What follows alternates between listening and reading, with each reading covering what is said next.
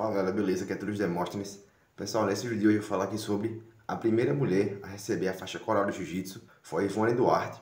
Para quem não conhece, ela também foi a primeira mulher a receber a faixa preta de Jiu-Jitsu, tem notícia. Então eu trouxe essa notícia para vocês porque eu acho bastante legal repassar. E ela também foi, tipo, grande influenciadora no, na entrada da mulher no Jiu-Jitsu, né? Que antigamente era mais focado para homem, não, não deixavam tantas mulheres entrarem, mas ela foi responsável por desenvolver o Jiu-Jitsu feminino no cenário mundial. Pessoal, ela foi aluna do mestre Oswaldo Alves, que foi aluno, é, ex-aluno do grande mestre Carlos Grace, um dos fundadores do Jiu-Jitsu. E também, pessoal, ela, foi, ela fez parte da primeira academia, certo? Pela turma, melhor dizendo, feminina de Jiu-Jitsu que se tem notícia. Ela tava lá, ela tava lá junto. Aí, mais uma vez, ela recebeu a faixa preta, né? Do mestre Oswaldo Alves, grande mestre Oswaldo Alves em 1990. E também ela começou, pessoal, ela treina, desde, ela treina jiu-jitsu desde 1978, desde seu, seus 14 anos. Né? Então ela começou bem recente no jiu-jitsu. Assim, eu comecei com 15, né? Ela começou com 14.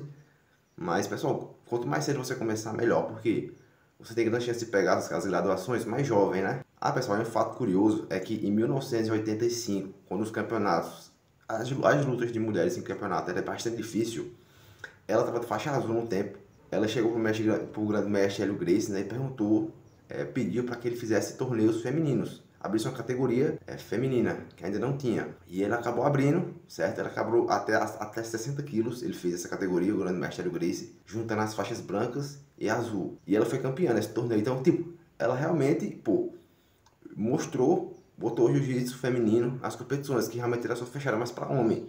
Mulher não lutava nessas competições antigamente, era bastante difícil.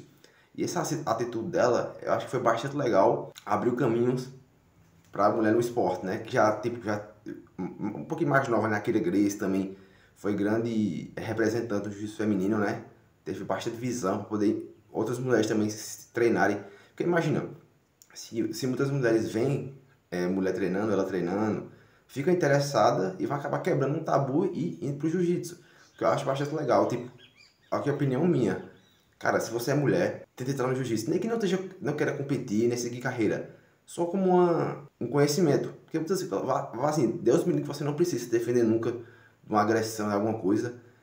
Mas se precisar um dia, você vai estar tá segura. Vai, vai saber né, como se defender. Que aquele lance é melhor saber e não precisar do que precisar e não saber. Então, é melhor você ter aquele conhecimento guardadozinho lá na, no cofre. Quando precisar, você usa porque imagina, se você não sabe, aí Deus me livre, você precisa usar e não, e não sabe, entendeu? Então é melhor você saber, ter uma noção. Ah, pessoal, e também uma coisa bastante legal é que em 97 ela abriu a academia dela, certo? De, de jiu-jitsu em Brasília, com a ajuda do seu irmão.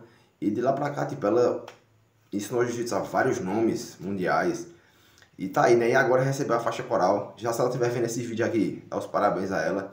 Cara, ela foi realmente muito importante para a, implantação, né, o desenvolvimento do jiu-jitsu feminino, certo? Teve grande, grande influência para que outras mulheres também se interessassem e começassem a treinar no jiu-jitsu, beleza? Então, esse é o vídeo de hoje, pessoal. Espero que tenham gostado.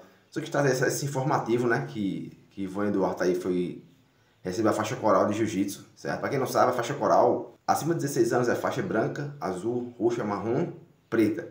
Aí você ganha os graus na preta, aí depois de um determinado tempo, até fiz uns vídeos, procurar aqui no canal.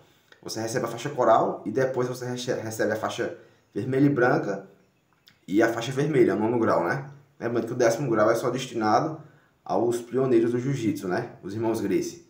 Mas enfim, pessoal. Ah, mais um adentro. Vamos falar aqui dos principais títulos de Ivone, né? Que ela conquistou nesse tempo de carreira dela. Ela foi campeã estadual de 85 a 87, certo? 1985 a 1987 ela ganhou e também ela foi campeã nacional pela Federação do Rio, né?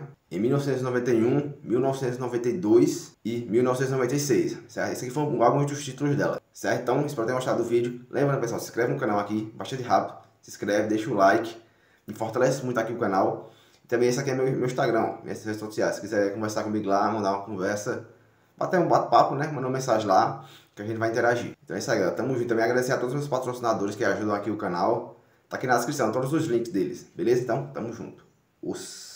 spit raps like a heart attack. Fast fatal heart impact. Past painful scars In fact I blast tasteful bars and packs. I back up my actions. Fact don't ask. Grab reactions. Jacked attack with every word Then act with class as they hear me snap. I got nothing to lose Cause I fought and felt the bruise. Now I'm not the one confused. Call the shots and they produce. I ain't lost I'm finally loose. Pick a new silver excuse